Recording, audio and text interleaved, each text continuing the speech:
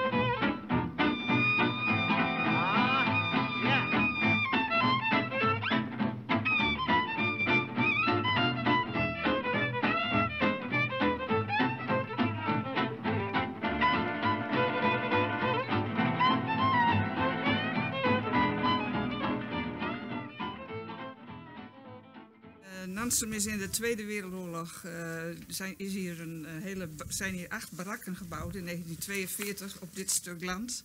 Met Duitse soldaten. En daar waren hon- 130 Duitse soldaten. En ook nog 12 Russische krijgsgevangenen hebben hier ook die tijd eh, doorgebracht op het land wat hiernaast ligt.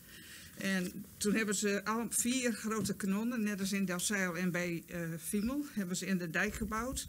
Ook nog houten nepkanonnen om het te laten zien dat er heel veel stond. En de geallieerden die vlogen s'avonds avonds over. En dan was het het luchtalarm. En dan was het in, in en Nansum was het eh, tijd om eh, hier niet te komen. Want er vloog van allerlei scherp spul door de lucht. En hier hebben ze dus vier kanonnen gehad. En die hebben steeds maar op die vl- vliegtuigen... Maar het is nooit gelukt om een vliegtuig naar beneden te krijgen. Maar eh, ze vlogen dus op de Duitse steden om die te bombarderen. Onder andere ook Emden, die is ook heel erg gebombardeerd. Hamburg, Bremen en eh, eh, Emden. Dat was dus echt op, opdracht bis zum letzten man verteidigen. Daarom zijn hier ook toen in de laatste oorlogsdagen in april allemaal Duitse hoogwaardigheidsbekleders die gevlucht waren, hebben zich hier in de bunkers en in de barakken opgehouden. En die hebben eh, mensen in de kerk gegijzeld en ook hier op een boerderij nog mensen gegijzeld, dat ze zelf maar buiten schot bleven. En mensen ook eerst wilden verplichten om hier te blijven, maar iedereen wou op de deur weg, dus dat kon niet meer. Dus eh, dit, is, dit is de, zijn die barakken en dat staat ook op dat bord. En dat was een vuurgeleidings- of een eh, elektrische seinpost, waar alle, want er waren allemaal eh, telefoondraden en dat is dus ook allemaal via, daarbij, eh, waar nu de gaslocatie is. Daar heeft dus die vuur- vuurtoren gestaan die voor op het boek staat. En daar bovenop staan ook allemaal Duitse posten die alles in de gaten hielden. En alles was hier ondermijnd en prikkeldraadversperring. En, er was dus één boer die uiteindelijk zei van ja, maar ik kan niet bij, kan bij mijn laat komen zo. Dus dat was ook de crux met de bevrijding. Uiteindelijk zijn ze via Bierum en Blekerslaan heet dat, waar die boer aan zat. Zo zijn ze hier naar Nansum gekomen. Maar ze moesten dus eerst wachten op sterker materiaal. Want doordat de brug in Hovier opgeblazen was, is er oponthoud geweest van die eh, Canadese opmars. Dus En er was dus een man die hier gewoond heeft in dat huis, die heeft dit getekend. En dan zoek ik dat even op. Want eerst waren die kanonnen gericht op buiten, hè, naar, naar buiten schieten of naar boven. Maar toen werden ze landinwaarts gedraaid, toen de Canadezen hier kwamen. Zijn al die, dit, ja, die kwadranten staan erbij. En ze wisten precies welke boerderij ze moesten. Zoals ze van de toren af zagen, hé, hey, daar blikken iets, daar zijn de Canadezen al. Fosforbommen naar die boerderij werd in brand gestoken. Zo zijn er heel veel boerderijen en de molens ook verbrand, opgebrand, zeg maar. Dus moeten daarheen, dames. Hier zijn. Hier moeten we zijn. Hier was ik ook nog niet geweest. Ik neem het zag ook niet, net echt. Nou, de laatste dagen voor de dat het bevrijding werd, is er hier nog heel hard gevochten.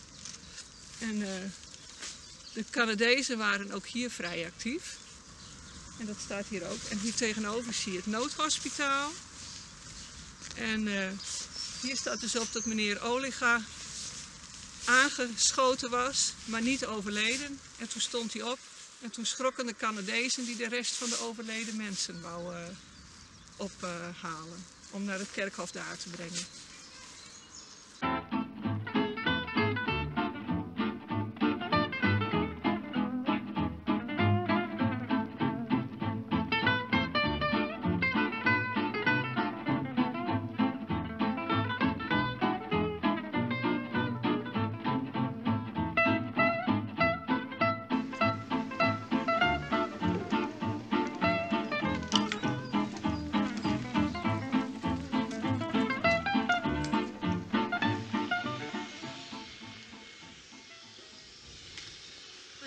Bij het Canada-monument in Holwierde. En Wiebe Kool kan ons daar alles over vertellen.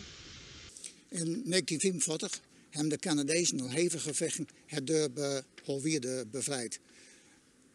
Het eh, dorp is door grotendeels uh, verwoest. Daarbij uh, ben tientallen eh, burgers en eh, Canadese militairen om het eh, leven eh, kwam.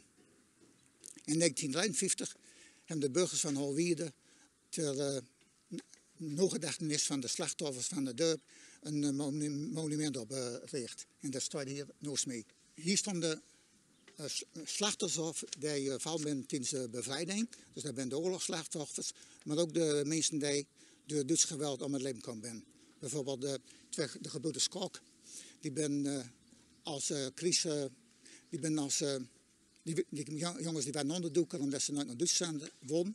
En toen ben ze opgepakt en toen ben ze de, in, in, in concentratiekampen in Duitsland om het leven.